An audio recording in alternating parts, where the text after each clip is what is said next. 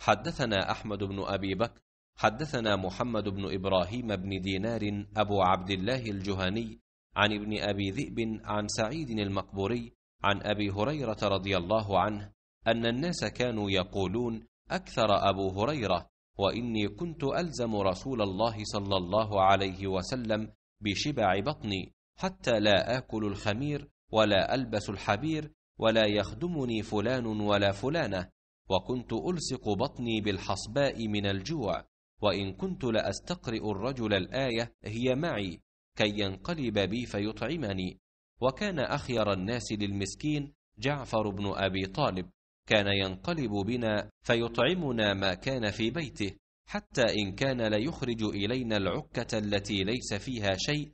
فنشقها فنلعق ما فيها